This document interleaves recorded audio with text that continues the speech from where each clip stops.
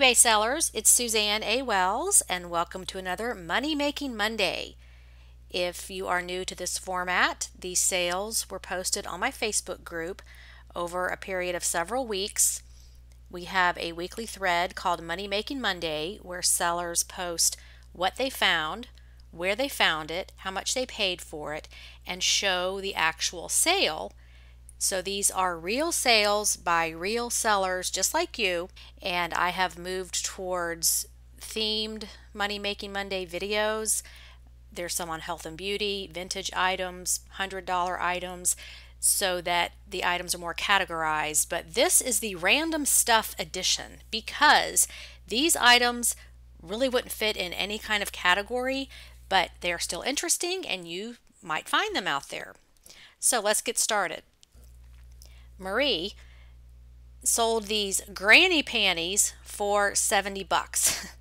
she said these came from my mother-in-law's stash of beautiful lingerie. When I checked the solds, I was astounded by the prices. Sold within one hour of listing for best offer of $59.99. Okay, we've got KC, who is usually one of the stars of the $100 item video. He sells other stuff too. So here he's got a conch shell. He paid $5 for a crate of these, seven total, at a garage sale. Sold this for $25 plus shipping in a couple of days. And this is your basic queen conch shell. Really pretty item, probably used for display or home decor in a beach house or whatever. So those of you that have these laying around, guess what? You can sell that too. Okay, Mark says that empty boxes sell, and yes, they do. There's several of them in this video. He bought this case a few years ago. The case is long gone, but the empty box sold for $12 plus $5 shipping. And this is uh, an iPhone case box. It's not even for the phone, it's for the case for the phone. So you've got these things laying around, you can definitely sell empty boxes. People want them for all kinds of reasons.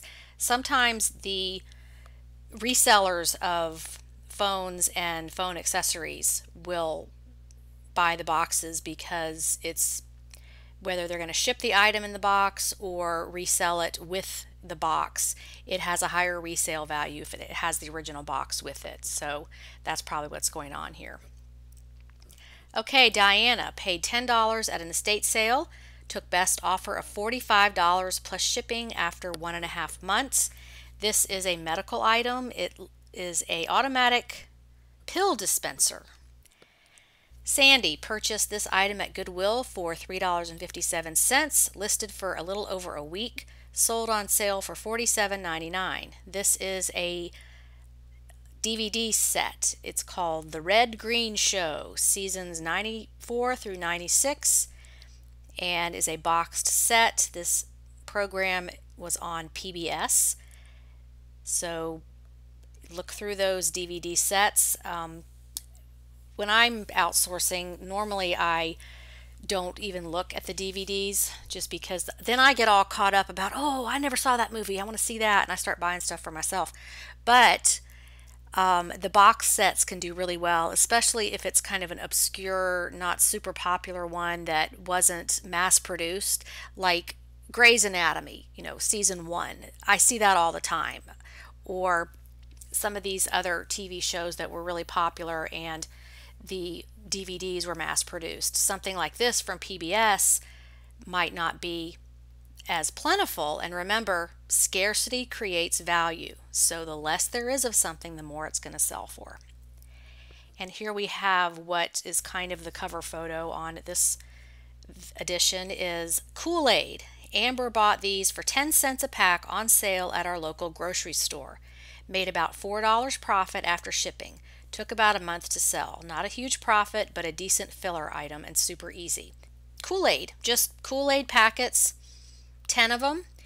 And I included this not because it's a super high profit item, but to get you thinking of when you see things on clearance at the grocery store, check that out because you never know if it is a uh, discontinued flavor, version, color, whatever it is and there's a buyer for everything.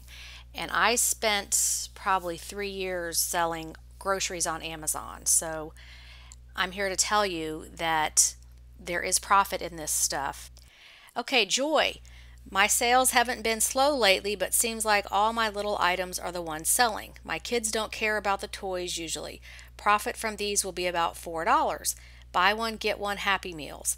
At least they aren't in the landfill, sold in a couple of days. And the item is a lot of two McDonald's Happy Meal Toy Story number four uh, characters. And somebody said in the comments that the moms on mom boards are going nuts for these. When you put them all together, they make the RV from the movie. And Joy did not know that. So, those of you moms out there that have a whole bunch of these Happy Meal toys, check that out because sometimes they are highly coveted and you can sell them whether it's a lot or individually or whatever. And yeah, it's not a, a, huge profit item, but it's just another thing you can sell that you already have, especially if you have little kids and you're accumulating these toys. Okay, Ginger sold this Honda service manual for 60 bucks it was her husband's. And she's talked about this before, and in the seller success interview, she talked about selling all kinds of Honda related items because her husband knows that niche. Sold for full asking price of 60 bucks and it was free to her.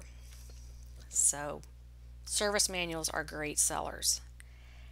Kelly bought this as part of a fill a bag for $5 at an estate sale, so it cost her about 11 cents. Listed it for $65, sold on best offer for $60 in 21 minutes. So somebody probably had an alert set up for this, and it's a miniature. Now, what is a miniature? It could be it goes in a dollhouse, or we used to have these what's called shadow boxes where it's like a wooden box with a bunch of little compartments and it's flat and you hang it on the wall and you put all kind of little thingies in it. I used to do that back in my 20s. I had a shadow box collection of all these little things that were cute and you put in there like a little tiny coffee maker or a little tiny quilt or all kind of things like that. So not sure if this goes to a dollhouse or if it's just a little miniature thing that would have gone in a shadow box or what it was for. It really doesn't matter. It sold for $60. In 20 minutes, it cost her 11 cents. So even the little bitty things matter. Michelle paid a dollar for these Barbie clothes that sold in one day on best offer for $25. And they are vintage 1986 fancy frills lingerie for Barbie.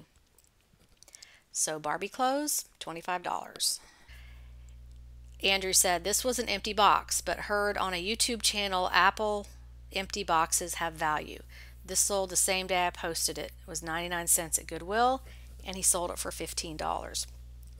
So if you've got these kind of boxes laying around your house, if you're a pack rat and you keep them, you might want to consider selling those. Tina says it was a slow week. Bought this for 53 cents. This is the last of four I have sold. It took six weeks. And it is a light bulb called OttLite Vision Saver 13 watt plug-in swirl bulb. And it sold for $18.95. So if you see those bags of items like the clear bags that have all the miscellaneous items in them I've seen them with these specialty light bulbs in there. You can kind of figure out what that's worth and if it's worth buying the whole bag to part out the stuff. But these specialty light bulbs can be hard to find in stores, so people go online to look for them, especially if they're a vintage item and they don't even make them anymore. So keep your eyes out for that. Christina, $5 at a garage sale, sold for full asking price in three weeks. And this is another service manual, but this is a Harley Davidson. 1997 Harley Touring FLT Model Service Repair Shop Manual Guidebook. So, just reinforcing that the auto and motorcycle service manuals sell for great prices. Here we have another empty box. Maybe I should do a Money Making Monday edition of all empty boxes. but that sounds kind of boring to watch. Um, rule of thumb is check any empty box. But Max sold this Louis Vuitton box for her mother in law, took about a month and a half, and sold for $47.99 plus shipping for a box.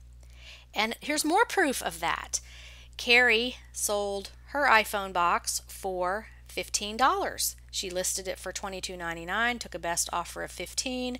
This was just a box she had lying around and it's got a cool image of looks like the earth with like a watercolor swirl pattern on it. But another empty box for 50 bucks. Now here's an interesting one. Carrie said she finally discovered this d-CON mouse poison in her garage, listed at $75. After 400 plus views, knocked the price down to $45 and tweaked the listing a little. Sold last night for full price plus shipping. Love to treasure hunt, but selling my own clutter is a bit more satisfying because I accomplished two goals money and declutter. So this was a d-CON ready mixed bait, pellets and bits, and it was even used. Well, it looks like the box was just open, but it wasn't. Yeah, it was used. One pack is missing because on the box there it says four ready to use packs, but there's only three shown. So this was even opened and it's still sold for $45. And it is uh, rat killer basically. And yeah, you can sell that. Um, some of you are confused about hazmat and what you can and can't sell on eBay. First thing to do is just Google that. Um, eBay restricted items, and you can go see what you are and are not allowed to sell, and also how to ship it. You can Google USPS, shipping restrictions, hazmat list, those kinds of things. Some of you are under the impression that because it's a liquid, it has to go parcel select, it has to go ground. And that's not true. If it's hazmat, it has to go ground. And if it's even allowed to be shipped, which most things on the hazmat list of USPS we're not going to sell. It's like industrial products, it's chemicals you would never have.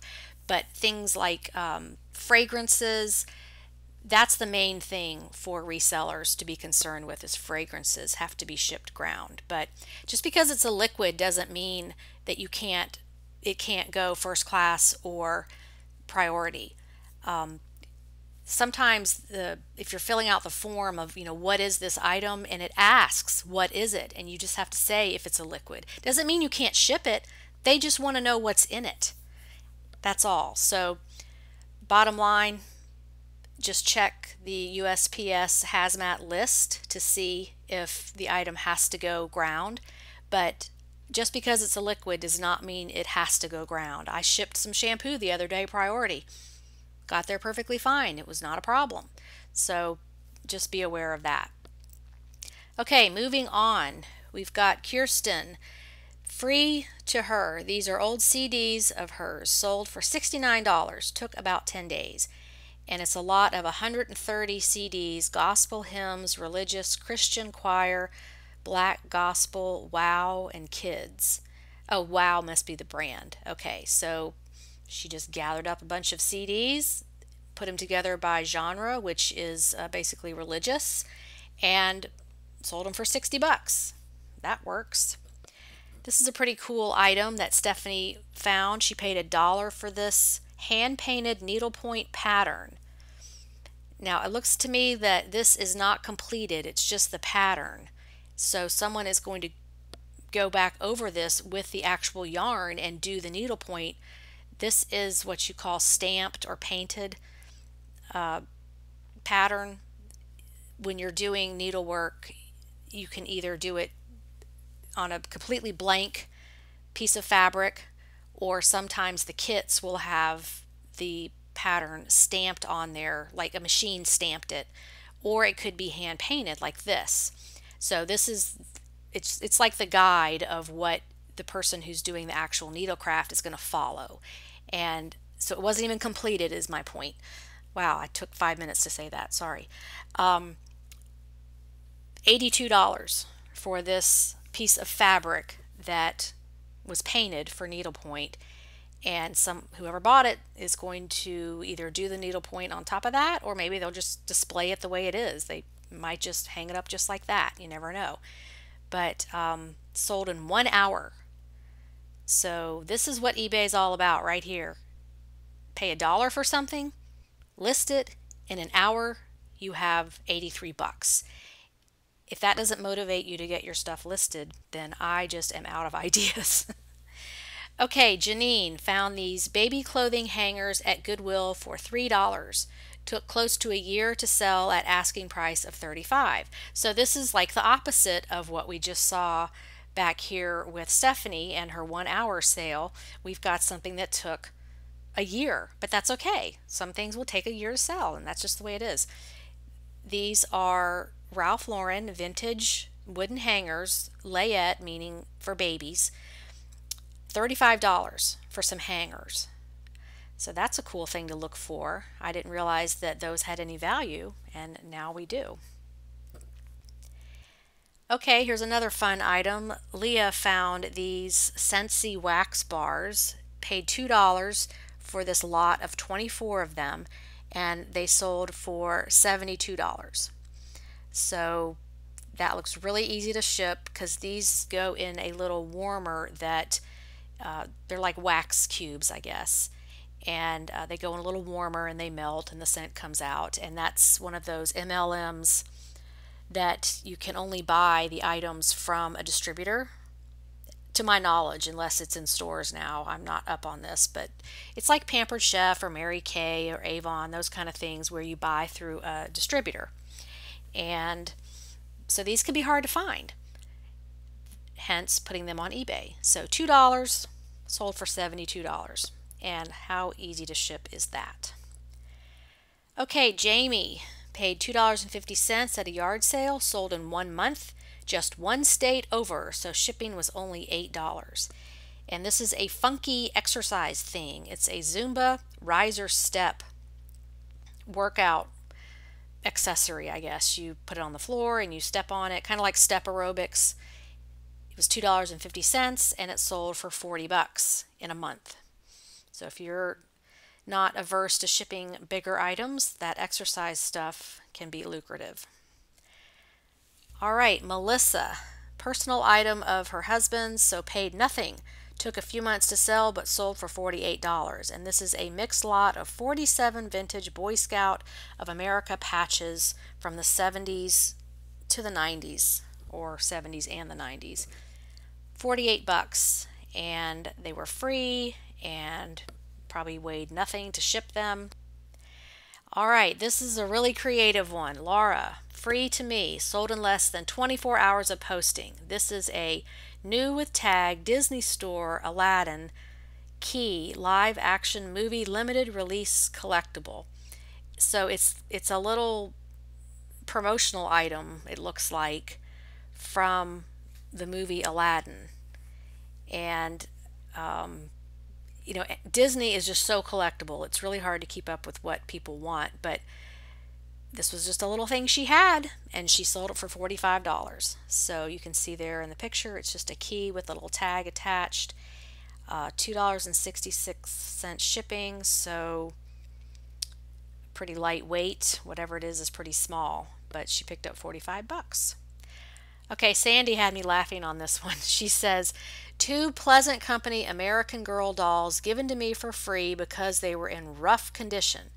I listed one in terrible condition and the other as poor condition and put them both on seven day auction with starting bids of $9.99. The one in poor condition sold for 1907 plus shipping. The one in terrible condition sold for $68.53. So if you look at her title, it says Pleasant Company Samantha wide body American Girl doll retired terrible condition all in all caps. So nobody can be confused that um, this poor doll baby's had it rough and she's she's in terrible condition but she still sold for almost $70 so that just goes to show you um, look everything up and in case you're not aware American Girl dolls, some people buy dolls just like this and they sell the parts. So they might take her arms and legs off and sell everything separately. Or there's also an American Girl doll hospital that you can send your items to, your dolls, and they fix them all up for a price, of course. But that might be what people are doing when they buy these um, rather torn up, terrible condition dolls, is they're going to part it out or they're going to send it to the doll hospital and get it remade basically so that it looks a whole lot better. So just an FYI on that. And any American Girl doll collectors or experts, please comment. Um, I am not an expert in that at all. I've just talked to a lot of people that do it, and that's what I've learned from them. Okay, we've got Ginger who bought these in a bag for $10 at an estate sale that had linen fabric, which she's already sold for $30, embroidery floss, which sold for $7, and now this for 48 So she's telling us that all the stuff in the bag is selling. So my $10 investment sold for $85. And this is a lot of 31 skeins of basically uh, sewing floss thread, embroidery thread, something like that. And that sold for $48 on its own. So she bought a big bag of all kinds of sewing and needlework stuff, sorted it out, created several different listings based on what the items were, and her $10 investment turned around $85 in sales. So that's how you do it. Okay, Anissa found a bag of nine of these at an estate sale, paid 50 cents each, sold two within a week of listing for list price of $19.99 each plus shipping. This is Mr. Clean Auto Dry Car Wash Refill Filter. So it's a thing for, I guess, doing a car wash at home. Auto Dry Car Wash Refill Filter. Anyway, it's a car wash thingy. That's why this is called the random item edition because some of these things I don't even know what they are.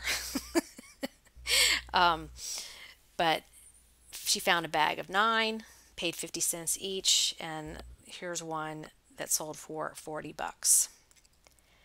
Here we have another sort of consumer item. Jen, she is new at this. Well, congratulations, Jen, because you did just fine. I just had sale number 20. This eBay experience is exciting. Yes, it is. And even when you've been doing it like 20 years, it's exciting. Paid $6 for both at Goodwill, sold them both full asking price of $23, so total $46. And it's off power pad mosquito repellent lamp three pack refills. Okay, a few things to say here. Um, number one is this video is airing in August of 2019 and we're going to start seeing the summer stuff going on clearance in all kinds of stores Walmart, Target, grocery stores, drug stores. And this is the time, if it's cheap enough, that you would pick this kind of thing up and sell it because some people use these things all year, not just during summer.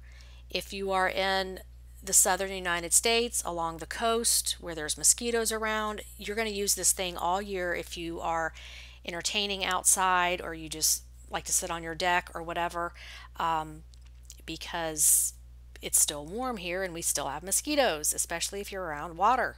So, you know, keep your eye out for those kinds of things when, uh, if it's a refill product, because this is like the ink to a printer um, manufacturers make their money on refills of things. So you buy the printer once, but you put ink in it for 10 years. So this is the kind of thing that may be hard to find locally, but people will order them online. So this kind of thing that does not go in the body or on the body is not going to expire and it's easy to ship. It's in a little box and it's easy to store. So just keep that in mind as you are out in public at regular retail stores and you see things like this on clearance. Um, now, when you check the prices, they're not going to be super high because we're still in summer. So you may see the prices go up later in the year when the supply is lower because remember, scarcity creates value. Okay, Suzanne Keene paid $1.99 for these eyeglasses at a thrift store while on a trip to move my daughter. Listed last week and sold for $49.99 plus shipping within a few days. Brooks Brothers RX eyeglasses frames. So, yes, used eyeglasses still sell and you sell them for the frames. Maria paid a dollar at Goodwill, listed it before I even got home, sold in less than five minutes. Pink Texas Instruments TI 84 Plus Silver Edition Graphing Calculator. And I'll bet you anything it sold so fast because of the color, because that's kind of an unusual color. Most of them are black or blue or gray, and finding a pink one will get you a fast sale probably at a higher price. So this was a dollar and it sold for 51.99. Listed it before I even got home, sold less than 5 minutes. Perfect. Okay, Rebecca used to work in the music industry and toured with a lot of musicians. When I wasn't working and would go to a concert, the artists or their techs would hand me fistfuls of guitar picks when I was watching the show on stage. I had boxes full. I started listing them last year. I'm down to my last couple of picks now, but they still sell here and there, so free to me. Sold after about a year for full price. So who would think a guitar pick would sell for 20 bucks? But that's what she had and this is kind of a bloom where you're planted kind of thing. She's making money with stuff that she has and who knew? Okay, and then we've got Kay who bought this cross stitch kit at Goodwill for $1.75. Completed it myself. Took three months to sell for best offer of $30. Now that is going the extra mile where you find a cross stitch kit and you work it and then you sell the completed products. So that's somebody who loves to do cross stitch and who just enjoys that. And she sold it for $65. And Linda commented, I'm glad I'm not the only one. I just picked up a few unfinished needlepoint pieces at a dollar each. One of them has the background half finished. The needle was threaded and just waiting for the next stitch. One hour and a few rows later, I realized I guess I'm finishing this one. So, hey, if you like to do needlework and you want to finish those kits that you find, you're going to get more money for them. But good for you. That's that's the beauty of eBay is you can do it any way you want to. So, I hope that you have learned something from this random stuff edition. Keep posting your sales on Money Making Monday, and I will keep making these videos so we can all learn from each other. I would love your comments below, and if you liked this video, please give me a thumbs up so I'll know. Thanks so much for watching, and have a profitable and productive day on eBay. Bye.